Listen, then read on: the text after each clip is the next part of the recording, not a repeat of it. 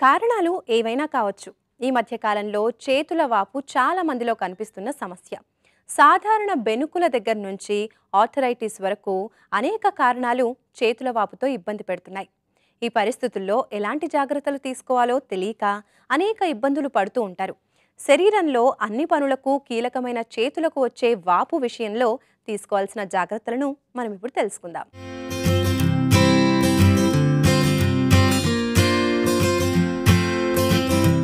మన శరీరంలో చేతులను చాలా ముఖ్యమైన భాగంగా చెప్పుకోవాలి. మనం చేసే ప్రతి పని వీటి మీదే ఆధారపడి ఉంటుంది. ముఖ్యంగా కంప్యూటర్ మీద పనిచేసే వారికి ఇవి మరింత కీలకం. అనేక కారణాల వల్ల చేతులు మణికట్టు వాపుకు గురవుతాయి. వాపుకు కారణమయ్యే ఏ దెబ్బలైనా సరే వాటికి వైద్య చికిత్స అత్యవసరమే. ఎర్రగా మారడం వాపు రావడం నీరు కట్టడం ఉబ్బడం కోసుకున్న గాయాలకు చీము పట్టడం ఇలా కారణం ఏదైనా వైద్యుని పర్యవేక్షణ చాలా అవసరం. అయితే చేతివాపు చాలా సమయాల్లో అంత తీవ్రమైన సమస్య కాదు.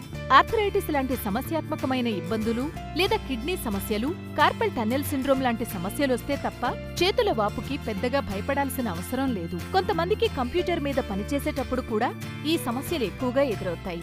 కనుక ప్రత్యేకమైన కీబోర్డులను వాడటం ఉత్తమం. మణికట్టుకు వీలైనంత మేరకు విశ్రాంతి ఇవ్వడం వల్ల చేతుల వాపు నుంచి చక్కని ఉపశమనం లభిస్తుంది. చేతికి స్వెల్లింగ్ చాలా కారణంతో రావచ్చు. అది స్వెల్లింగ్కి మేము టూ డిఫరెంట్ టైప్స్లో డివైడ్ చేసుకోవచ్చు. ఫస్ట్ టైప్ ఎట్లా? మొత్తం బాడీకి కొంతమందికి స్వెల్లింగ్ వచ్చేస్తే అలానే చేతికి కూడా స్వెల్లింగ్ వచ్చే అవకాశం ఉంది. ఇలాని రీజన్స్ ఏమేమి ఉండొచ్చు? కొంతమందికి అనీమియా అంటే రక్తం చాలా తగ్గిపోతే బాడీలో స్వెల్లింగ్ చేరినట్టు అలాగే చేతికి కూడా స్వెల్లింగ్ వచ్చే అవకాశం. అనీమియా అంటే హిమోగ్లోబిన్ తక్కువ అయిపోవడం ఒకటి రీజన్ అలానే లివర్ సంబంధించి ప్రాబ్లం ఉంటే లేదంటే కిడ్నీ సంబంధించి ప్రాబ్లం ఉంటే వాళ్ళకి కూడా మొత్తం బాడీలో వాపు వచ్చేస్తుంది. అలాగే చేతికి కూడా వాపు వచ్చే అవకాశం ఉంది. ఇంకా ఇంపార్టెంట్ రీజన్ థైరాయిడ్. కొంతమందికి థైరాయిడ్ తగ్గిపోతుంది. లో థైరాయిడ్ వాళ్ళకి హైపోథైరాయిడిజం వాళ్ళకి చేతిలో స్వెల్లింగ్ వచ్చే అవకాశం ఉంది. ఇలా అని స్వెల్లింగ్స్ యూజువల్గా నొప్పితో రాదు. ఇలా అని స్వెల్లింగ్స్ పెయిన్లెస్ కంటిన్యూస్లీ బాడీలో మొత్తం బాడీకి స్వెల్లింగ్ ఉంది. అందుకనే చేతికి కూడా వాపు వచ్చే అవకాశం ఉంది. ఇంకొకటి ఇంపార్టెంట్ రీజన్ ఉంటుంది గుండె సంబంధించి ప్రాబ్లం వస్తే. కొంతమందికి వేరే కారణంతో గుండె ఫెయిల్ అయ్యే అవకాశం ఉంది. హార్ట్ ఫెయిలియర్ వాళ్ళకి కూడా మొత్తం బాడీ స్వెల్లింగ్ వచ్చేసి చేతికి కూడా సోలింగ్ వచ్చే అవకాశం ఉంది. These are all general reasons అని అంటాము. లోకల్ అంటే చేతి దగ్గరే వచ్చేది రీజన్స్తో కూడా చేతికి వాపు రావచ్చు. కొన్ని కారణంతో చేతిలో వచ్చేది వాపు నొప్పితో వస్తుంది కొన్ని కారణంతో చేతికి వచ్చేది సోలింగ్స్ వితౌట్ పెయిన్ కూడా రావచ్చు. చేతుల వాపు బాగా నొప్పిగా ఉంటే వెంటనే దానికి ఐస్ ప్యాక్ను చేతి మీద ఉంచుకోవాలి. దీనివల్ల నొప్పి వాపు నీరు పట్టడం లాంటి వాటి నుంచి కాస్త ఉపశమనం లభిస్తుంది. కేవలం ఇరవై నిమిషాల వరకు ఈ ప్యాక్ని శరీరం మీద ఉంచవచ్చు. చేతులు వాచినప్పుడు ముప్పై నిమిషాల పాటు ఎత్తులో ఉంచడం కూడా మేలు చేస్తుంది. ఇలా బాగా చేతిని ఎత్తులో ఉంచడం వల్ల రక్త ప్రసరణ పెరిగి వాపు తగ్గుతుంది. నిద్రపోయేటప్పుడు చేతిని ఎత్తైన దిండు మీద ఉంచడం వల్ల కూడా మంచి ఉపశమనం లభిస్తుంది. చిన్నపాటి వ్యాయామాలు కూడా చేతి వాపు నుంచి మంచి ఉపశమనాన్ని అందిస్తాయి.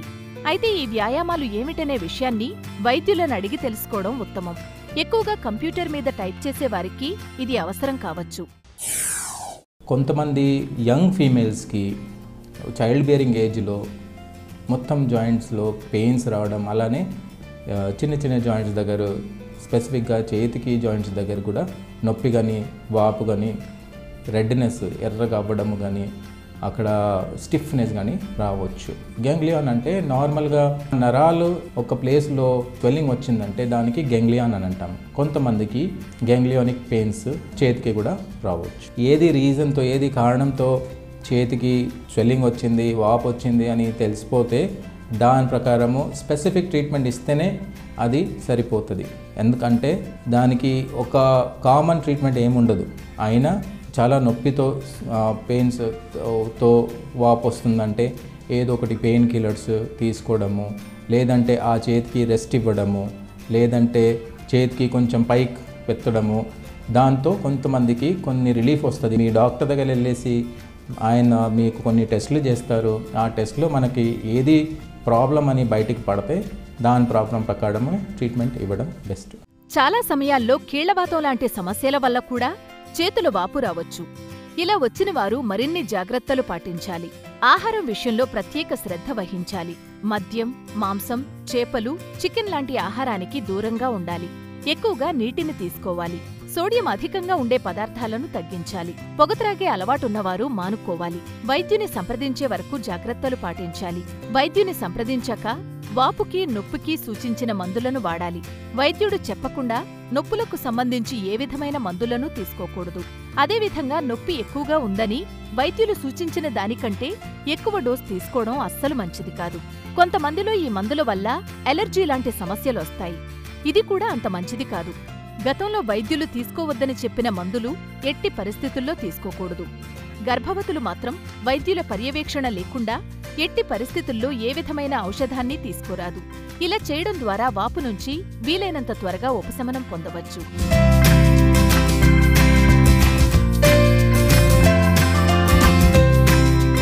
చూసారుగా చేతుల వాపు విషయంలో తీసుకోవాల్సిన సాధారణ జాగ్రత్తలను దీని పట్ల అవగాహన కలిగి ఉండడం ద్వారా మీ కుటుంబ సభ్యులకు వచ్చే సాధారణ వాపు సమస్యల నుంచి మంచి పరిష్కారాన్ని పొందొచ్చు.